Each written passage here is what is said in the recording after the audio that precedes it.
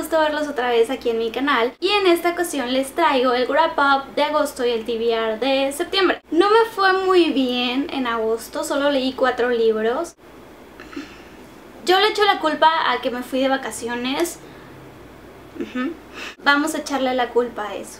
El primer libro que leí fue Firelight de Sophie Jordan, que es el primero en esta trilogía. Me gustó mucho, no había leído nada igual en la literatura juvenil y le di 4 de 5 estrellas en Goodreads porque me fastidió un poco la protagonista. La mitad de las páginas era la protagonista quejándose, cambiando de idea cada rato. Por eso le di 4 de 5 estrellas. El siguiente libro que leí fue Percy Jackson y el mar de los monstruos. Este libro es una preciosidad, lo amé, está increíble, tiene muchísimas más aventuras, hay más personajes, uno en particular que me encantó y obviamente le di 5 de 5 estrellas, le hubiera dado 10, le hubiera dado 1000, pero no se puede. También leí Las tejedoras de destinos de Jennifer Alvin, este libro le di 4 de 5 estrellas, me gustó bastante. La historia me pareció lo más genial y pensándolo bien no sé por qué le di 4. Le debía de haber dado 5 estrellas. Y por último leí La ladrona de libros de Marcus Zusak y oh my god, no sé por qué tardé tanto en leerlo, no sé. Necesito que alguien me diga por qué. Le di 5 de 5 estrellas porque es un libro espectacular, no tengo palabras, necesito prepararme, porque como les digo no tengo palabras, para poder hacer mi video sobre, sobre mi opinión de este libro.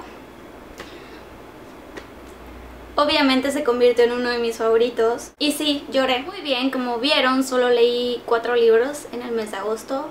Fueron muy pocos, pero esos libros fueron muy buenos. No me quejo de haberlos leído. Son estuvo bien. Ahora llegó el turno de mostrarles los libros que posiblemente, no prometo nada, no les aseguro nada, vaya a leer en septiembre. El primer libro, que de hecho ya lo terminé de leer, es Vanish, Chica de Niebla, de Sophie Jordan. A este libro le di 3 de 5 estrellas.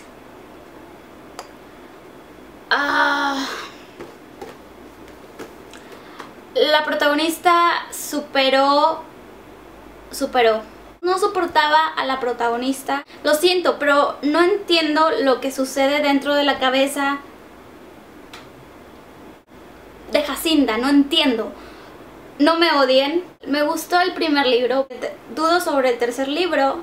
No sé si lo voy a leer porque el final de este me pareció un poco... Mm, está bien el final, pero no como que la situación que se dio para que llegara a ese final me pareció un poco patética. Como que...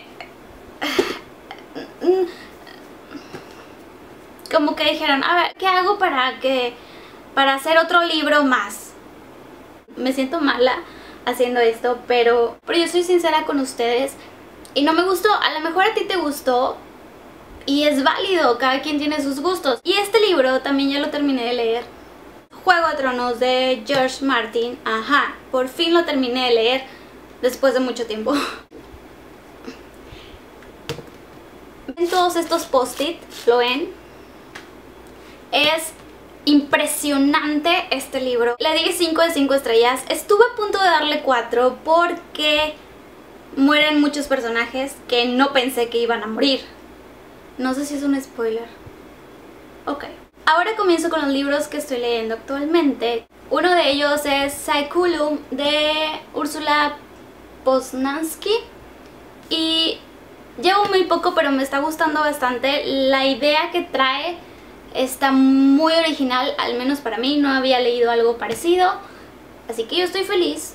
Estoy leyendo Choque de Reyes de George Martin. El segundo de la saga Canción de Hielo y Fuego. El primero fue Juego de Tronos y este es el segundo. Solo quiero que vean esto. Ajá. Sí. Vamos a ver. Les voy a demostrar que lo voy a terminar de leer en este mes. Sí, También quiero leer Una oscura obsesión de Kenneth Opel. Opel. Kenneth Opel. Porque la portada es hermosa y espero que la historia también lo sea. Y bueno, ahora sí, esto ha sido todo por este video. Espero que les haya gustado. Ya saben que los quiero bastante y los espero ver después en otro video. Cuídense mucho. Bye.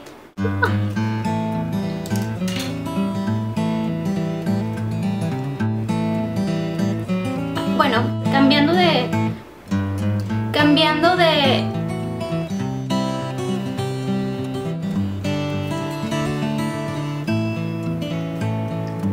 Es... Es Vanish. Es Vanish.